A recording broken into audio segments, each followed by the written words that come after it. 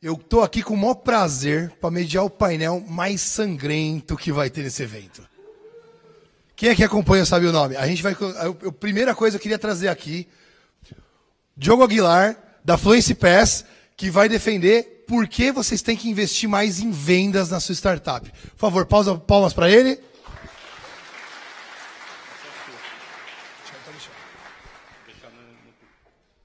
Agora a gente tem o Vitor também da Veg Pet. Por favor, tá entrando aqui também. Ele vai defender a parte de marketing.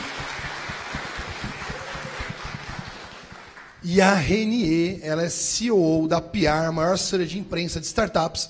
Eu queria trazer ela para o palco, por favor, palmas para ela.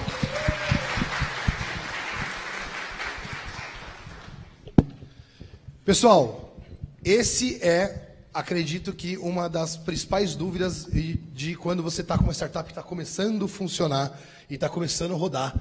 E aí, a gente então eu trouxe três pessoas aqui que são especialistas na sua área e a gente queria que a gente começasse primeiro se apresentando para mostrar o que eles fazem, mas é o seguinte, onde é que você vai começando a investir e colocar seu dinheiro? Renê, por favor. Bom dia, pessoal. Um prazer estar aqui com vocês. É, eu sou Renier Paro, eu sou CEO da PR Comunicação. Nós somos uma agência especializada em comunicação para startups e agentes de inovação. É, eu fiz jornalismo, formado em jornalismo, e como todo mundo que faz jornalismo, eu nunca pensei em trabalhar com assessoria de imprensa. Só que você meio que é jogado nesse, nesse ambiente, porque, enfim, a redação está cada vez mais enxuta, concorrência alta. E aí eu me apaixonei no primeiro ano de faculdade e nunca mais saí. É, eu entrei na Piar em 2014, como atendimento ainda, que é a linha de frente né, da assessoria em uma agência. E aí fui galgando os cargos e hoje sou a COO que cuida de toda a operação e qualidade de entrega aí do meu time. Vitor, por favor. Bom dia, pessoal. Sou o Vitor, sou fundador e CEO da VegPet, que é uma empresa especializada em produto saudável e ecológico para pet Fiz toda uma jornada de startup aqui no ABC, junto com a comunidade, então faço parte de tudo isso e aprendi muito.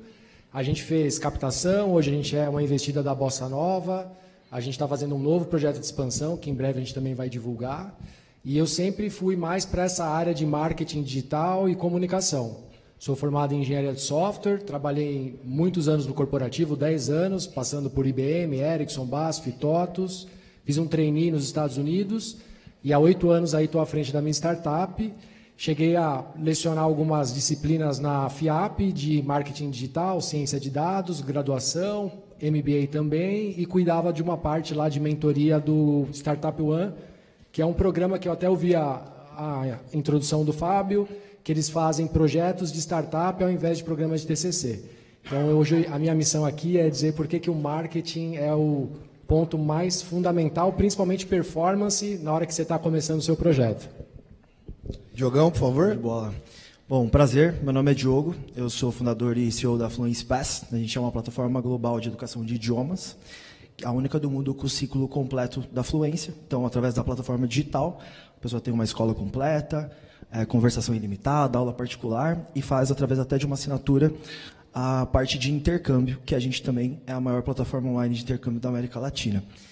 A gente é uma startup aqui de São Bernardo, a gente fica aqui do ABC, né, de São Bernardo, a gente tem em torno de umas 70 pessoas e esse ano a gente deve fechar com um crescimento de 400%. Um pouco da minha história, é, eu não sei se eu sou de marketing, de vendas, de tech, né, a gente está num duelo aqui, é, mas comecei a empreender muito cedo, então eu tenho 32 anos, aos 14 anos ganhei meus primeiros mil dólares no Google, né? E ali com o Google AdSense, então poderia dizer que é, que é marketing, né? É, minha base é de, de tech, então eu me formei em sistemas de informação, participei de vários e-commerces, já tive, já cofundei uma startup fora do país, a gente teve a oportunidade de vender.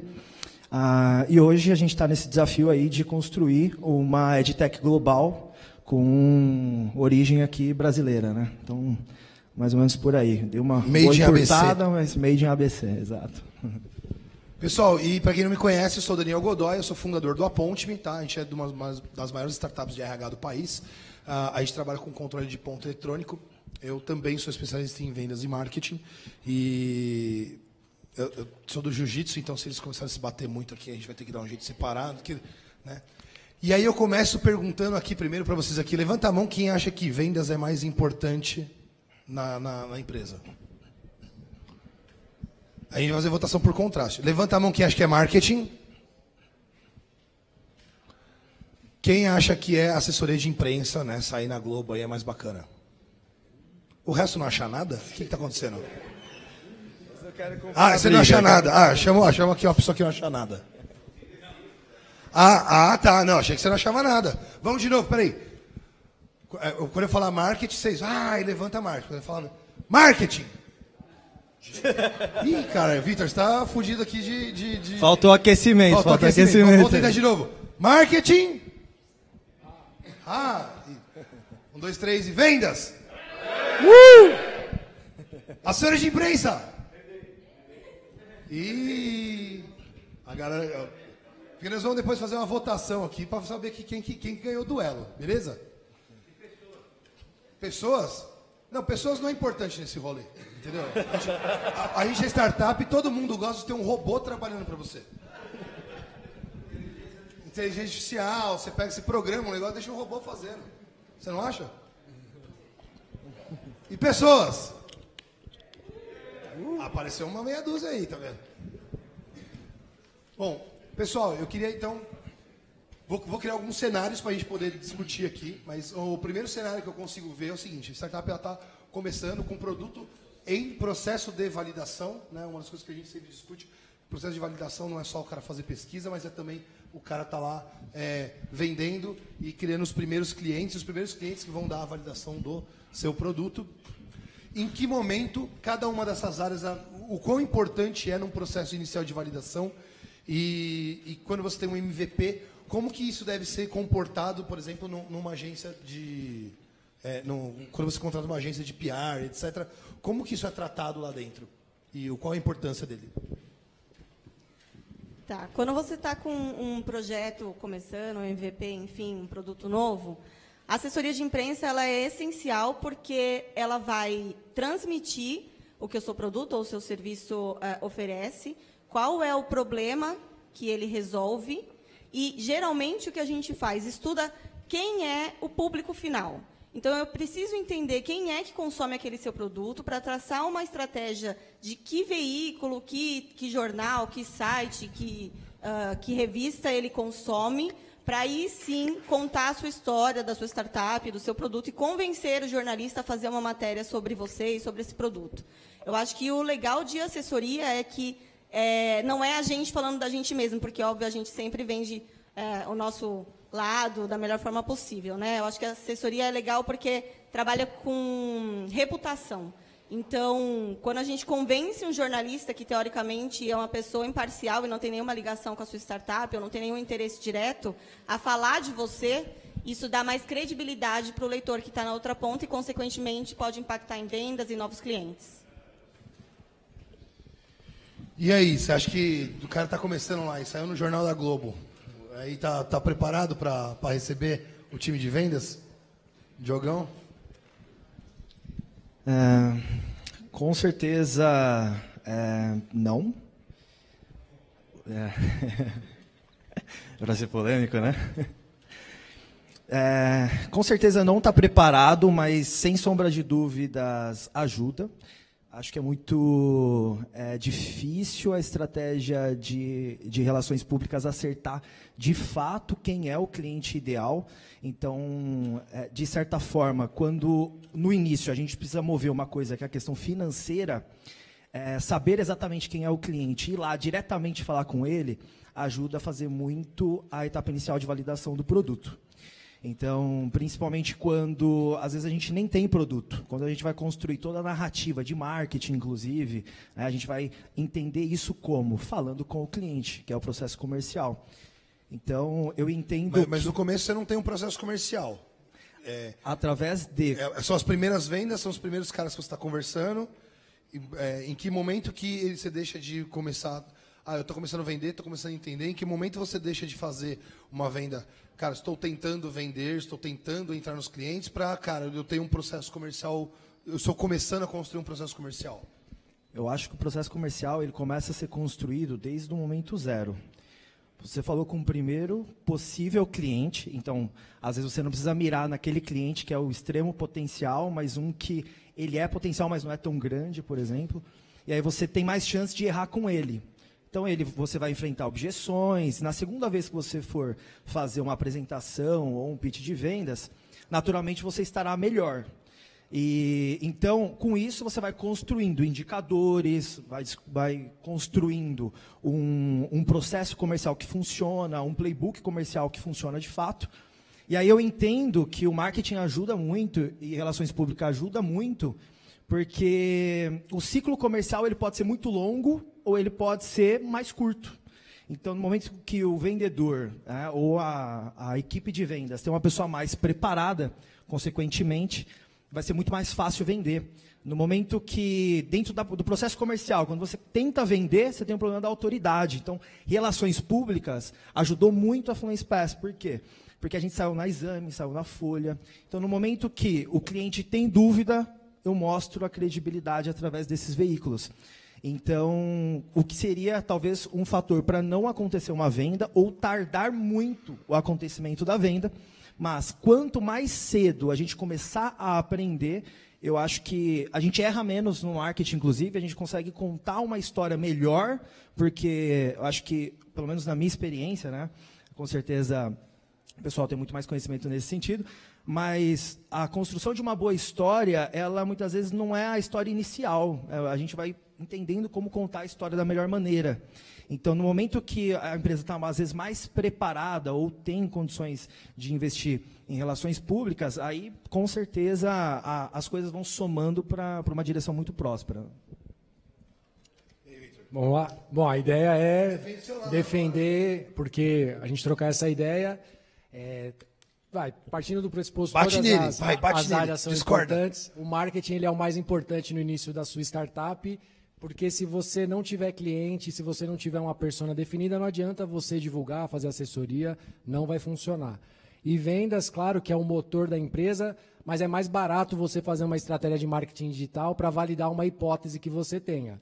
Então, ao invés de você trazer uma pessoa para ir falar com um potencial cliente, é mais barato você subir uma página, gerar tráfego, mensurar se aquela sua headline realmente captura aquela lead e aí a sua proposta de valor mais básica, embrionária ali, vai estar validada na prática. A, a gente não está falando de startups que estão começando já de forma milionária, mas no final, aliás, no começo está todo mundo com pouca grana, dinheiro contado e querendo acertar as coisas.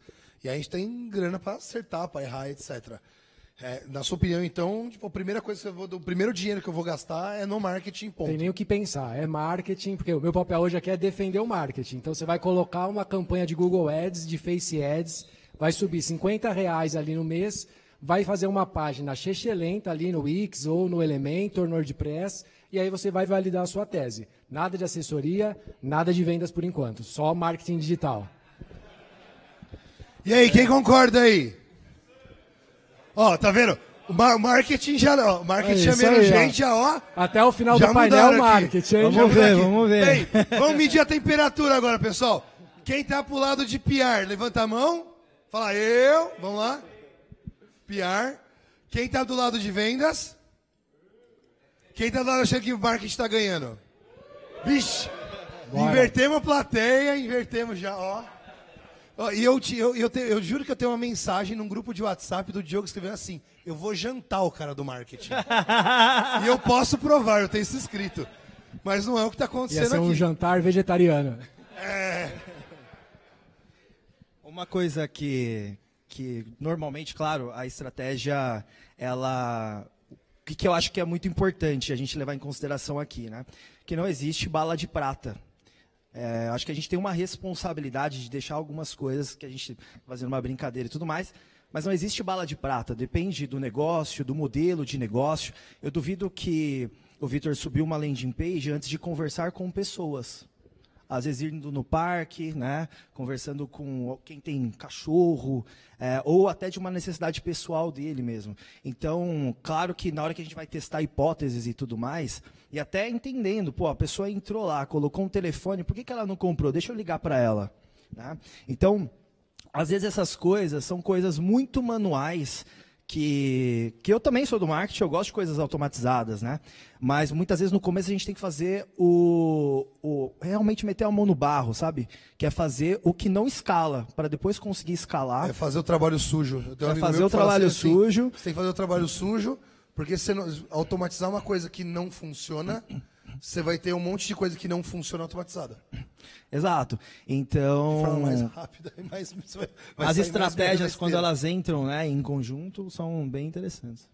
É, posso? É, é, pode, pode falar. Só pegando um gancho, é, acho importante entender também o que vocês querem transmitir com a marca de vocês. Se vocês querem ter uma marca lenta, vocês podem contratar o Vitor, ele vai 50 reais. E aí, aí vai ser bom, vai funcionar. Mas se não, se vocês pensam em estratégia a longo prazo, fazer uma marca realmente ser admirada, eu acho que assessoria é um investimento melhor. Até porque assessoria, a gente brinca lá na PR, não é pastelaria, não é pedir o saiu. É um processo de convencimento, de conexão com o jornalista e com o leitor, que consequentemente é cliente de vocês. Então, é pensando a longo prazo, eu acho que sai mais barato e o retorno é melhor. Reni, eu já vou continuar a pergunta para você, eu já vou continuar puxando para você responder. É, em, muitas vezes a gente tem métricas de marketing e vendas que elas é, são similares e não que seja mais fácil de medir, não sei se é essa palavra, mas é o seguinte, elas são mais claras de se identificar quais são as métricas. Então, assim, ah, é, tantos caras entraram na landing page, eu consigo amarrar tantos caras entraram na landing page, tantos caras preencheram o formulário, desses caras entrou para o meu vendedor e quanto desse cara eu converti. É, quais foram os canais de aquisição? Isso me parece ser um jeito mais simples de você medir, talvez, é, de acordo com a tecnologia, etc. Mas é, quais são as métricas reais que, quando você contrata uma assessoria de imprensa e sair num jornal, etc., o que, que, é, que, que, são métricas que são visuais, todo mundo vê quais são, quais são as realmente importantes e quais são aquelas métricas de bullshitagem, tipo, que fala assim, mano, isso aqui é métrica de vaidade. Isso aqui não, não, não, O pessoal gosta de colocar, é AUE para colocar numa apresentação, mas no final ela não representa em grana, não representa em retorno ou em algum tipo de valor intangível para a marca. Como é que você vê isso? É, esse é um dos calcanhares de Aquiles de assessoria, porque a gente não tem exatamente um ROI específico como marketing tem, como vendas tem. A gente não, não trabalha com números, a gente trabalha com pessoas, com vencimento, reputação, enfim. Isso é prejudicial na hora de metrificar. Mas eu acho que é legal dizer que uh, exatamente o que o Diogo colocou, Diogo, certo? Colocou no começo. É, quando você está em dúvida entre é, adquirir um produto da marca A ou B, geralmente você opta por aquela que você já ouviu falar na mídia, que alguém já falou bem, ou você vê uh, reviews em algum site, revista que trabalha com tecnologia. Então, isso mostra a repercussão da imagem que a assessoria consegue uh, trabalhar é, no final das contas, acaba convertendo em vendas quando você faz um trabalho de assessoria bem assertivo, bem focado. O que a gente percebe é que muita gente vem, ah, eu quero sair em 15 mil sites. A assessoria consegue fazer esse trabalho, o resultado vai ser pífio. Vai ser ridículo porque a gente vai falar com Deus e o mundo e não vai atingir de fato o público que vai converter. Vai, vai, ser aquele monte de sitezinho, blogzinho tal, e que, na verdade, Exato. ele não tem nenhum tipo de relevância. Exato. Na Piar, o que a gente trabalha, a gente fala assim, é qualidade, não quantidade. Eu prefiro entregar para o cliente no final do dia, no final do mês, um relatório com três clippings, que é o nome que a gente dá para resultados de assessoria, é, que de fato conversem com o seu público e podem gerar vendas e reputação, até colocar o porta-voz como especialista nesse mercado, do que sair em 20, 30 sites que não vão converter em nada. E, e, e bom, continua aí então, vamos lá. Ah, e, e é interessante assim, quando você tiver dúvida você investe em marketing, que aí você não tem dúvida, porque se você pagar a performance, você consegue mensurar de onde veio aquela fonte de tráfego e sabe quanto custou aquele seu cliente. Então, na dúvida, faça uma estratégia de marketing, de performance, que você vai saber exatamente quanto de investimento você precisa para chegar num patamar de vendas. Esse é um ponto que eu acho que diferencia de todas as outras áreas. Né? Cadê o Bruno aqui? Peraí, cadê o Bruno? Do, da, daqui do Senado? Eu não tenho uma agência de marketing. Levanta a mão, Bruno. Tá... Ali, tá ali. Ô, Bruno, só para perguntar, você contratou segurança extra aí na portaria? Que hoje vai dar, um, vai dar uma torcida, vai parecer briga de torcida organizada esse negócio aqui. Espero Mas uma sim. coisa que, até fazendo uma congruência da, das estratégias, né? É, eu não tenho dúvida que investimento em PR diminui o investimento em marketing. É, eu também não tenho dúvida que investimento em PR ele diminui o ciclo de venda. Então, assim, como metrificar? Uma empresa que não tem métricas, não tem como fazer depara de nada. Então, como cobrar de uma, uma estratégia ou algo nesse sentido se a gente não tem um histórico para fazer uma comparação? É claro que não é muitas vezes tão assertivo quanto uma campanha de performance, né, é, de marketing e tudo mais, mas é, quando a gente pensa em conversão, não é somente um fator. Por exemplo, não tem ninguém aqui de produto e tecnologia. E eu entendo que uma startup ela é de produto e tecnologia. Eu acho que eu já começo por aí. Né? Então, é, na hora que a gente vai pensar em um produto, vai pensar em escala, tá, é produto, é tecnologia, é marketing digital, está entrando no site, mas no fim o que está acontecendo é uma venda. É, eu sou do marketing digital há 18 anos, né? O marketing digital ele, ele chegou e ele achou que marketing digital é, tomou o espaço de vendas, né? Porque é talvez... a solução de todo mundo. Não, e no fim, é, se clicou no botão comprar, é vendas. Então, por isso é um funil de vendas, né? Então, o marketing ele é parte da estratégia. É, claro que não tinha muita gente de vendas para defender isso, porque é, geralmente o pessoal estava mais no mercado tradicional, B2B e tudo mais. Mas, é, no momento que há essa intersecção, né, é, as coisas acontecem de uma maneira muito mais fluida. Porque se você, o que, que você quer mover? Você quer mover uma questão de conversão? Então, por exemplo, é, eu tenho funil online automático, mas o meu time comercial converte seis vezes mais. Aí quando eu considero. Custa mais caro, porque tem mais pessoas, mas converte seis vezes mais. Custa mais caro, mas tem mais ROI. Talvez o que ia custar mais caro, né? É, não se custa mais absoluto, caro. Se for é, valor absoluto. Porque se você. Dependendo, entende? Então, assim, tem coisas que. Da mesma forma, né? A, o Victor tem uma marca de de, de, de ração vegana, né?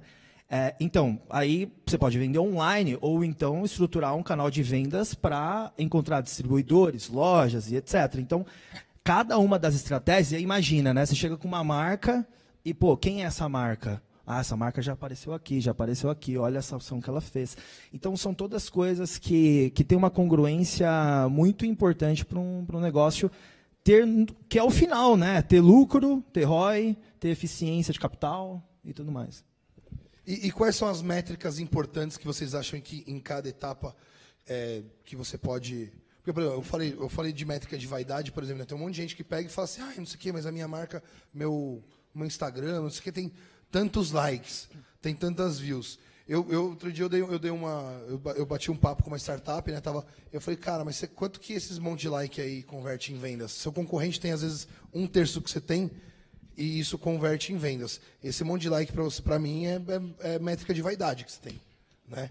É, pode não ser, eu concordo que pode não ser, porque pode ser que eu, é, like, seguidores ou etc., dentro de, um, de, uma, de uma rede social, se você amarrar isso a, a vendas, cara, do caralho, beleza.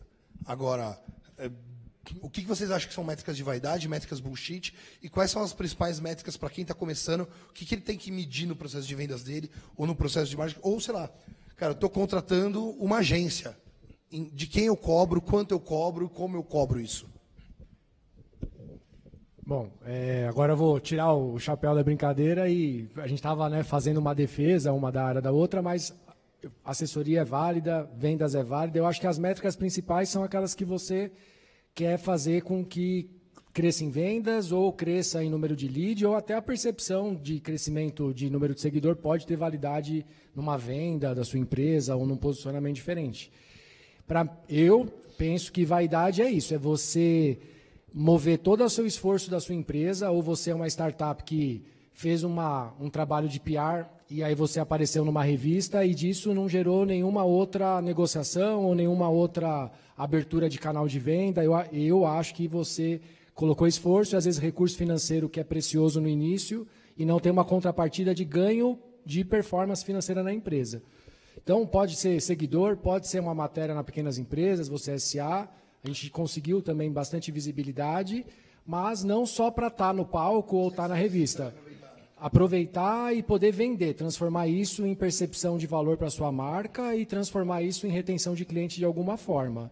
É, crescimento de rede social, só por mostrar volume, você tem várias formas de fazer. Você pode colocar um robô lá que segue as outras marcas e você, outras pessoas e você ganha. E eu acho que é completamente errado, assim, não, não iria nessa direção. É, eu acho que é o que a gente fala bastante na PR. A gente tem é, startups de todos os segmentos que tem uma galera que não trabalha o ecossistema, trabalha o ecossistema, que é para ele aparecer ecossistema. A carinha, é, a carinha dele ficar famosa e esquece a empresa, esquece o negócio, quer só virar um influencer, enfim, essas novas profissões. É, e o que a gente bate muito de frente com alguns clientes é isso, assim, você ficar famoso, sua cara aparecer no jornal, é consequência de um trabalho estratégico em cima da marca. A gente tem que focar sempre na marca, no produto, no serviço, mostrar diferenciais e o seu rosto vai vir sempre em segundo plano. É, e eu acho que tem uma galera que está tá confundindo essa balança e acaba prejudicando outras startups também. E, e, na hora, assim, né? Acho que quase ninguém tem estrutura, a não ser que você seja uma grande empresa, tem estrutura para montar um time de, de PR interno. É, eu, eu acho que isso se assemelha no, na vertente contabilidade, por exemplo, da empresa, né? a, a empresa passa a deixar de ter um contador externo para ter contabilidade interna a partir do momento que ela chega em determinado tamanho, e aí o time administrativo começa a ter contabilidade interna, etc. Tal. É, então, acredito que a mesma coisa acontece na hora de contratar uma PR, uma, uma, uma de PR tal. O que que, o, o que que quem vai contratar tem que levar em consideração da, da empresa que está fornecendo serviço, do assessor que está tá fornecendo serviço? É, Pô, cheguei lá eu quero contratar. Quais são a, as principais coisas que as startups que estão aqui, as pessoas que estão aqui, elas têm que saber, têm que perguntar, têm que questionar e, e cobrar isso, do, do né? tem que levar na balança na hora de contratação? Eu acho que o principal ponto é você saber quem você é, porque a gente precisa de uma, uma história coerente para contar. É, existem muitos casos que, na PR e outras agências que o empreendedor ele muda de, de ideia sobre o que é o, o, o negócio dele de, a cada três meses. Isso, para a imprensa, gera uma, uma, impressão muito ruim, porque parece que é uma startup esquizofrênica, sabe? A cada momento tem uma personalidade. Então, é, o primeiro ponto é esse. Quem você é? Saber defender a sua ideia, o seu, e não só a sua startup. Minha startup é linda, maravilhosa. Mas e o mercado? Você tem dados do mercado que você atua? Porque a ideia com assessoria é transformar uh, esse porta-voz em especialista no setor, não necessariamente só em cima da startup dele. Porque a imprensa quer boas histórias e não ficar comercialmente falando só de uma empresa. Uh, eu acho que entender qual é o público-alvo, isso é muito casado com marketing e vendas, tem que, tem que ter uma, essa conversa a todo momento. Quem consome a gente? Quem que paga a conta no final do dia? E aí, em cima disso, a assessoria vai fazer um estudo de quais são os veículos que chegam na mesa desse cara que paga a conta, e aí sim começar a falar com esses jornalistas. Então, quando vocês contratarem uma assessoria, o primeiro ponto é saber quem vocês são e qual é o público que paga a conta de vocês para cobrar da assessoria é, inserções é, inteligentes. Acho que um ponto legal é que a gente está falando muito daqui é o que eu faço com o meu primeiro centavo, vamos dizer assim, né? É, e não necessariamente a forma de marketing é a mídia de performance, né? E etc. Tem várias formas de chegar no cliente, mesmo em um negócio digital. Então, vou colocar aqui abertamente um case da minha empresa. Em 2016, é, a gente estava tracionando a parte de intercâmbio para um destino que era Malta. E, e aí, aonde tem muitas pessoas que procuram Malta? Grupos de Facebook. Só que tinha um grupo lá que tinha já uma boa quantidade e todo mundo procura o primeiro grupo. Eu fiz uma oferta, comprei o grupo por 80 euros. Então, ali eu tinha leads. Você comprou o grupo do Facebook? Comprei um grupo. Como que é só, só parênteses, como que é comprar um grupo no Facebook? Chega, chega assim, cara, quem que é o administrador, quem que é o dono, manda uma mensagem e fala assim, aí, mano, Quanto você quer nessa porra aí? É tipo isso? É, eu percebia que, que a administradora ela não estava cuidando do grupo, e era um grupo de brasileiros para Malta e tudo mais que pensem para lá. Então, assim, eu paguei 80 euros. Se eu fosse colocar a quantidade de leads que a gente obteve em mídia direto, por exemplo, Google Ads, Facebook, então, ia ser uma, um, um dinheiro enorme para um, um, uma receita que a gente fez de 2 milhões de reais. Então, 80 euros gerou 2 milhões de reais. Então, não existe uma bala de prata quando a gente fala é, de qual é o canal, né? Até porque, se você não tiver um bom funil de vendas... Não, não que você não, gastou, você não gastou só 80 euros e faturou 2 milhões. Você gastou 80 euros para comprar um, um canal de aquisição que tinha um monte de gente, gastou esforço em cima para poder gerenciar, Exatamente. tirar o lead de lá, tal, tal, né? Não foi assim, 80 euros virou 2 milhões de reais. Exatamente. Então. Um, tem um monte de coisa no meio do caminho aí, né? Exato. Então tem várias formas de começar e começar barato, né? O, o, o acho que o, o, que talvez tenha essa questão do ego, né? É, e que eu vejo muito empreender há muito tempo e eu já vi gente entrando no mercado, saindo do mercado, essa coisa que sempre acontece. Aparece um astro do empreendedorismo, depois ele some. Aparece um astro do empreendedorismo, depois ele some. Que é a questão do ego, né? Porque vai passando o tempo e aí as coisas vão mudando, né? as coisas vão acontecendo. Então, quem está mais tempo no mercado já vê essas coisas acontecendo. Hoje em dia é os gurus, né?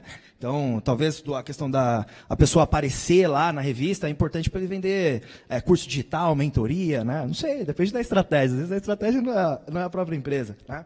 É, então, eu acho que é, tem N caminhos de começar. E o dinheiro mais barato é o dinheiro do cliente. E aí é, talvez esse ponto é um, um, ponto de como que a gente pode conseguir mais um, rápido acesso ao cliente, e aí tem N formas de conseguir isso. Questão da gente usar a criatividade e enxergar esses potenciais locais. Né? Vou trazer um exemplo também da, da VegPet. A gente, logo no começo, a gente começou em 2014, em 2015 a gente pegou uma assessoria que a gente pagava 5 mil reais por mês. E era uma grana que a gente fez um esforço muito grande para conseguir fazer as primeiras publicações e atrair a atenção da mídia. A gente fez mais ou menos uns 12 meses, então são 60 mil reais de investimento e o resultado foi próximo de zero. Logo depois a gente começou a fazer um trabalho de assessoria com uma pessoa freelancer e ela tinha uma rede de relacionamento muito especial com jornalistas e aí que começou. Saiu em todas as Veja, pequenas empresas, é, Estadão, você SA. Então, acho que esse ponto que a gente está trazendo é algo que, para você que está iniciando, refletir. Não é porque é de boutique, é conhecido, que vai trazer resultado para o seu negócio nesse momento do, da sua startup. É mais fácil você conversar e participar de ecossistemas e eventos desse tipo para se conectar com pessoas que, às vezes, com um ticket muito menor, que nem o exemplo do, do grupo do Facebook ou vários outros, você vai alcançar um resultado maior e tomar muito cuidado com o palco, sabe? É, eu estou um caçador de, de unicórnios, assim, hoje em dia. É muito palco e pouco resultado. É legal, ele inspira, ele motiva. Acho que o Daniel também compartilha, pode mostrar histórias de bastidor. Mas muitas coisas que a gente vê em cima não necessariamente é o que está acontecendo embaixo. Então, é, atenção. O, o, eu tenho alguns amigos, acho que a gente toma cerveja junto, bate papo, tal. E, na boa, ah, o, que, o que mais surge de assunto é puta, meu, fulano tá lá, tá mais estourado no Natal. O cara leva, o cara é, o Instagram do cara, ele tem um live, ele, ele é um empresário de sucesso.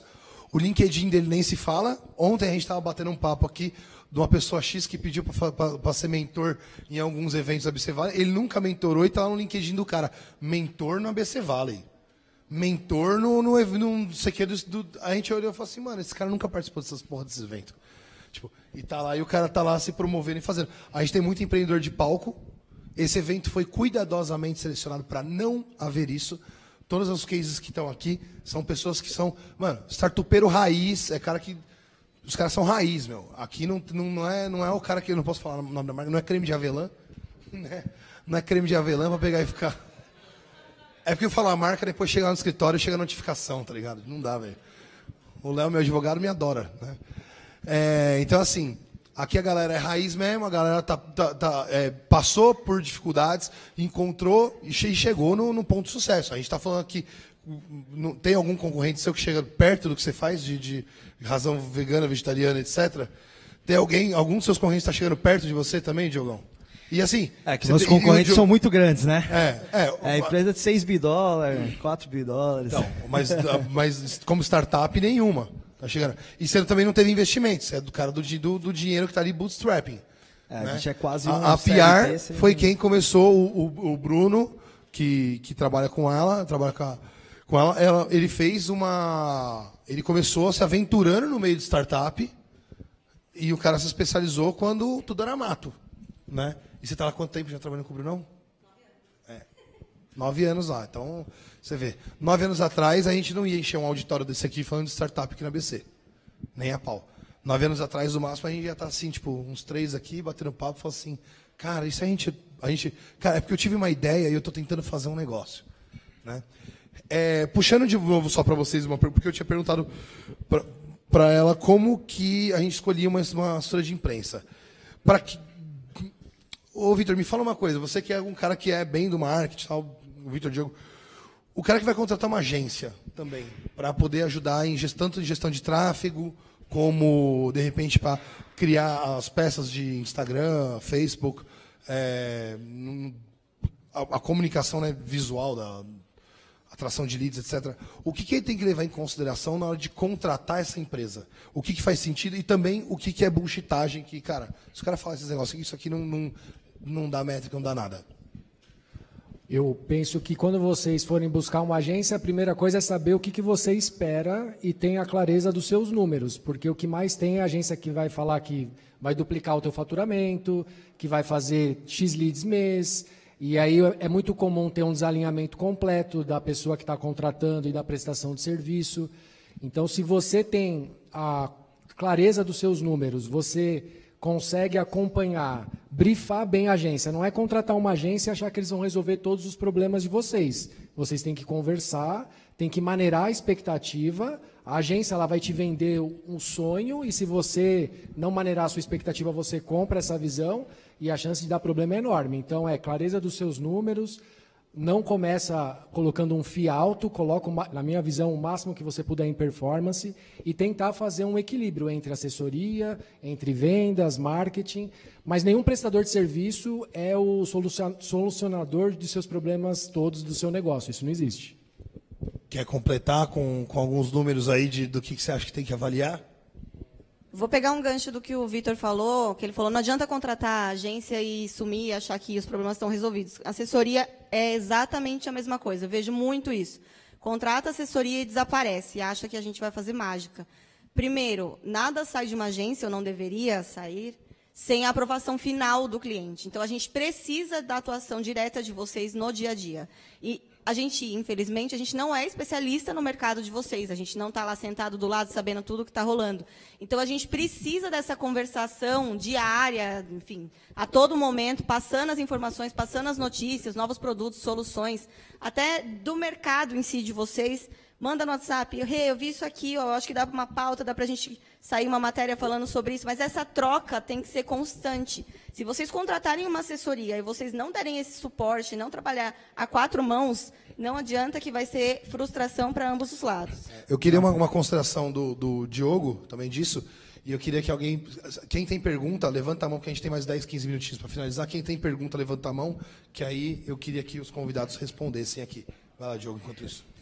É, posso dar minha perspectiva de cliente, né? É, assessoria de imprensa, como foi falado, é muito importante que a empresa consiga oferecer insumos. E isso depende também de capital intelectual dentro da empresa, porque a assessoria não vai fazer milagre. Então, as pautas que são levantadas, né, coisas da comunicação interna da empresa chegando na assessoria, é, essa para mim foi uma, foi uma lição muito importante quando eu contratei. Eu, a, nossa experiência foi muito boa, porque a gente não investiu muito dinheiro, e é uma referência para a gente até hoje, porque a gente saiu em bons meios. E eu também não considero que a pessoa que fez na época ela tinha bons relacionamentos. Se tivesse, a gente teria saído em mais locais. Mas era uma pessoa bem raçuda, assim, eu acho que insistia bastante com a galera e a gente conseguiu conectar alguns. Agora, no marketing, eu com a empresa que eu tenho, aonde a gente quer chegar, de ser uma empresa global, assim, é, um patamar muito alto, eu não posso me dar o luxo de terceirizar o marketing que eu entendo que é o core do meu negócio. Mas no começo não, tinha como. Cara, no começo eu fazia. Ah, é porque você é especialista. É que tem, tem gente que tem aqui uma startup que o cara tá lá. É, ele está tentando vender e criar o produto e o sócio, o desenvolvedor do Natal, eventualmente você vai chegar no ponto de eu contratar alguém ou chegar num, num, num patamar de fora. Né? Algumas coisas interessantes, né?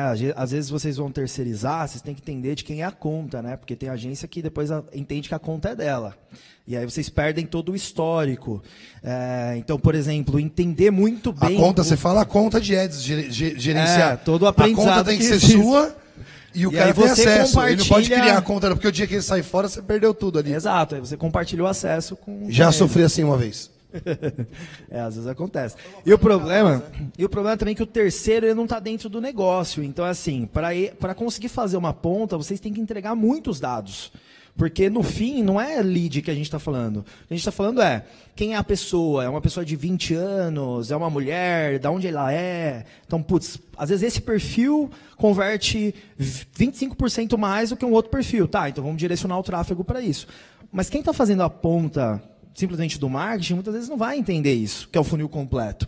Então, esses insumos que são muito importantes, porque senão fica uma agência, que é normalmente o que acontece, simplesmente enfiando o lead para trabalhar, o time comercial não sabe o que está recebendo, ah, num mês está vendendo bem, no outro está vendendo mal, você não tem previsibilidade de vendas, porque você não tem previsibilidade de quem está entrando. Então, é, não existe uma coisa ou outra. Né? Eu acho que é um conjunto de coisas em sinergia para, de fato, ter um resultado expressivo. Beleza. Vamos para as perguntas aqui. Tem uma pergunta, duas, três, microfone na mão do Fábio. Começa, por favor. Bem rápido. O Vitor, o Vitor fez a 30 mil pedidos e 180 toneladas em maio desse ano. Está lá no canal do Tração do ABC Valley. É, Diogo, você está habilitado com 400%. Você, em setembro, o nosso convidado do Tração do ABC Valley. Tudo bem? Fazer a. a, a... Fábio, pergunta para os convidados, Fábio. Depois você vai contar. É, não, Depois você é, fica dando é, número pra, do pessoal. você começa a dar número, você não para. Sim, e só para conectar, pra, porque aqui tem 15 horas de conteúdo no Tração que vocês têm. O último mês, 150 reais, a Bilheteria Express aqui de São Caetano conseguiu 2 milhões no podcast. O, o, canal se desgasta. Então a gente tem, ou fica mais caro, ou seu concorrente copia. Está tudo lá no Tração do ABC Valley. Então, só copiar e. e eu, eu, só preciso falar uma coisa do Vitor, bem rápida. Por que, Vitor? Ah, o Kepler, você é marketing, mas o Kepler falou que a melhor execução, cadência, é da VegPet, né? Então, só para ilustrar que ele é marketing e vendas, ele é bom em tudo. E o melhor pitch da ABC em 2018, quando foi com o Léo. E só para ilustrar, a Fernanda da Medei, ela fez a assessoria, é um investimento alto. Quando estava no meio da pandemia, a gente só falava de onboarding e demissão. A proposta da Medei é offboarding, a, a demissão humanizada. Então, no momento certo, as grandes empresas ligaram para ela para fazer, como você falou, o momento certo. Está tudo no tração, as 30 startups estão lá. E agora a segunda pergunta.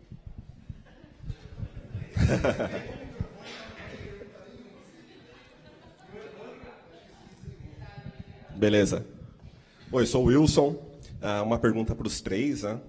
Acho que o Diogo já falou um pouco, mas sim, para as startups que estão iniciando, dentro de cada uma das áreas, o que, que a gente pode fazer dentro de casa? O que, que vocês recomendam para quem não tem dinheiro para investir uh, numa agência de marketing ou, ou em um PR, né? Ou até no próprio canal de vendas, vai contratar um vendedor ali dentro para participar da equipe, o que, que a gente pode fazer dentro de casa? Cara, eu acho que a primeira coisa que quando a gente começa a empreender, a gente, eu pelo, fala a gente, né, mas vamos dizer, eu, é, que a gente não considera coisas que já existem no mercado. É, então, por exemplo, já existe provavelmente alguém que faz um negócio parecido com o seu. É, o, então, esse, esse alguém já deve ter algum funil que funciona, algum canal que já, tá, já tem uma certa atração, alguma forma de se comunicar. Então, com isso, você consegue já gerar muitos aprendizados. Dependendo do modelo de negócio, tem uma forma melhor de fazer, através também de benchmarks. Então, por exemplo, quando a gente fala de vendas, né, talvez é uma empresa no B2B, é uma empresa mais sales-led growth, né? Em marketing, uma empresa mais marketing-led growth. Agora, o produto é um product-led growth. Então, assim, quando consegue entender isso e sinergia, às vezes eu vejo muito produto querendo só fazer vendas, esquecendo que o produto pode impulsionar muito da estratégia. Imagina um Slack, né? ou qualquer ferramenta de videoconferência é, e tudo mais. Então, Eu, eu começaria por aí, porque eu acho que isso pode dar muita clareza do que fazer e evitar muito erro. Porque o erro na vida do empreendedor custa muito. Porque o capital, ele termina, e aí a gente tem que voltar para o mercado, ou, né, às vezes, ver uma forma de pagar as contas, isso já aconteceu comigo. Então, quanto mais a gente consegue ser resiliente nessa jornada, é muito melhor. Então, entendendo isso, fazendo um bom benchmark, você consegue evitar muita coisa durante a jornada. Então, eu começaria por aí.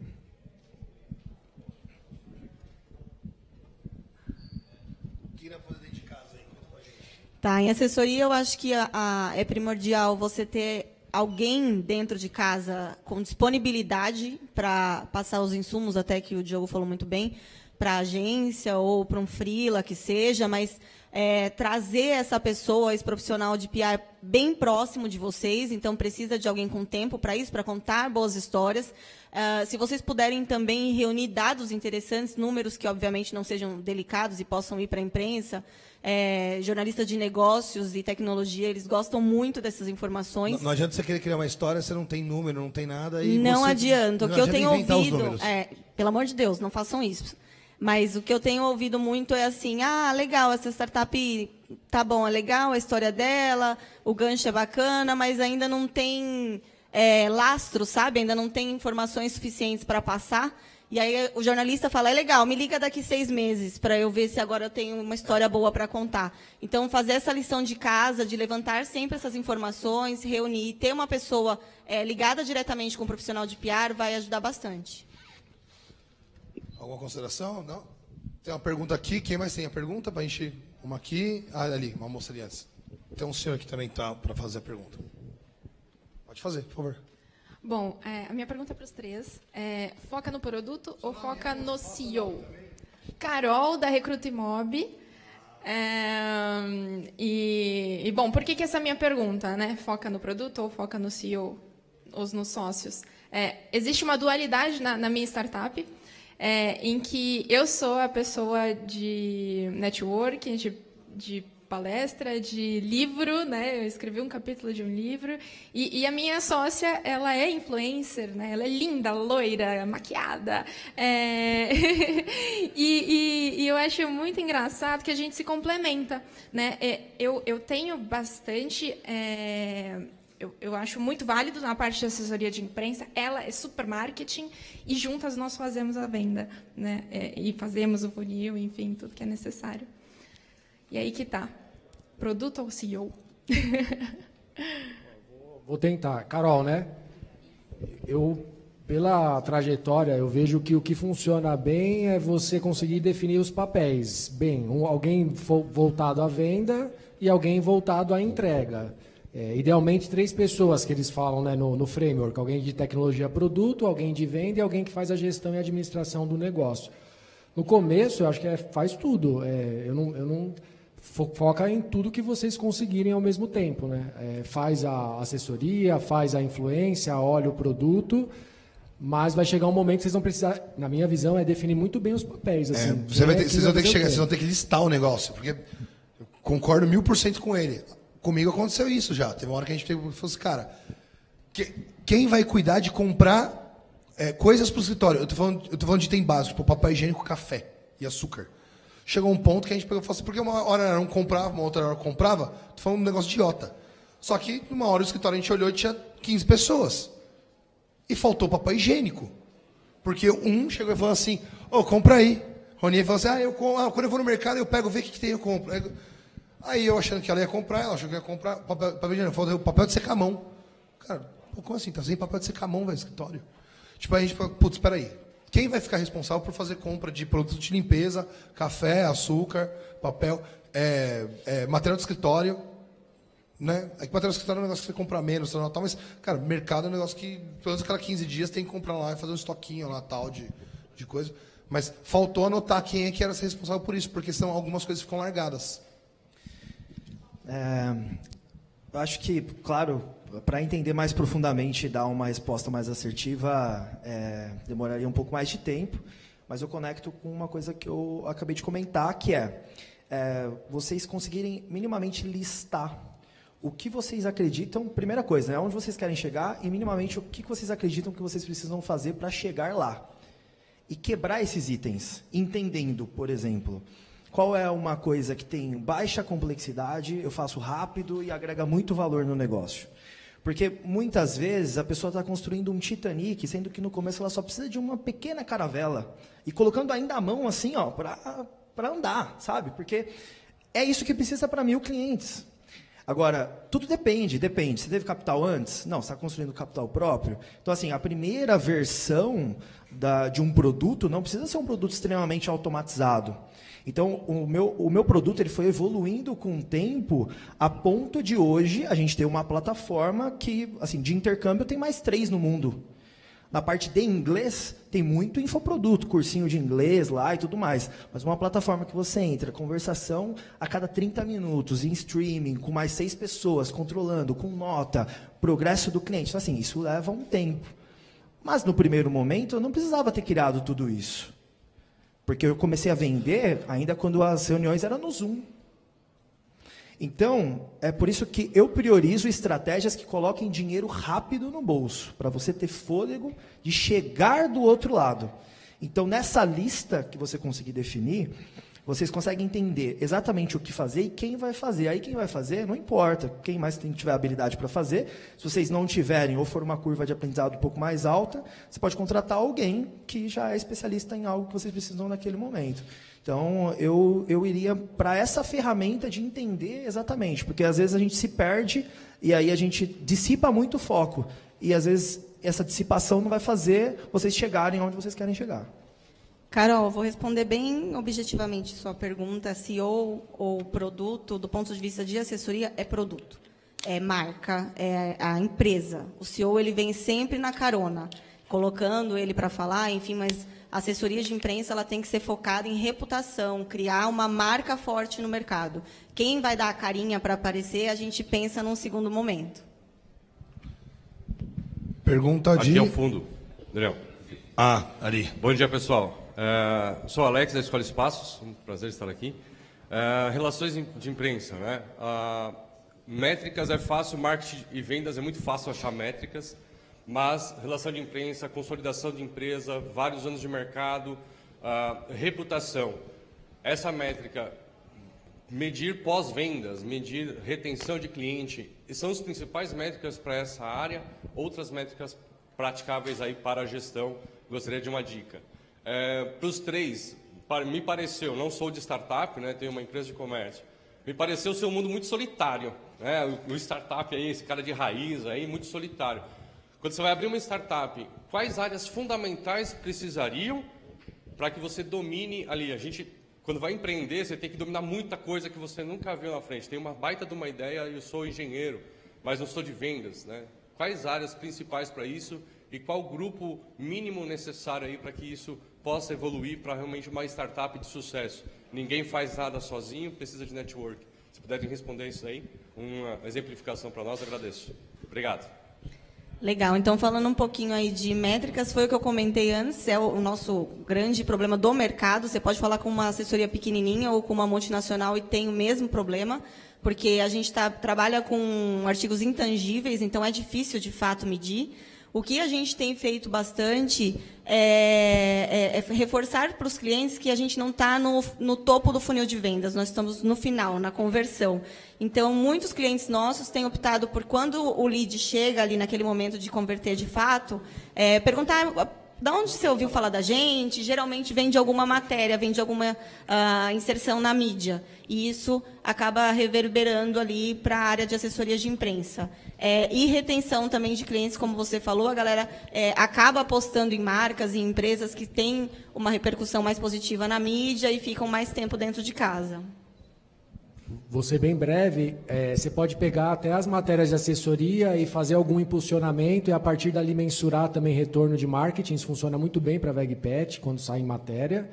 E a startup, esse modelo, eu acho que a gente não precisa se transformar numa startup, mas o ideal é buscar os, os frameworks, né, os playbooks. Eu acho que isso é muito válido do modelo. Então, o Canvas, é você criar aquela modelagem de venda, é solitário e o, como você resolve é se conectando, conversando com as pessoas que estão na trincheira, né? E assistir um pouco de evento, mas é, absorver mais do mundo real.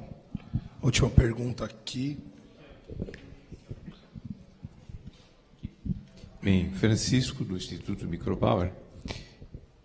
Tudo que vocês disseram, PR, marketing, vendas, tem a ver com pessoas. Uma persona, né, um CEO de uma organização, não é tecnologia, não é produto.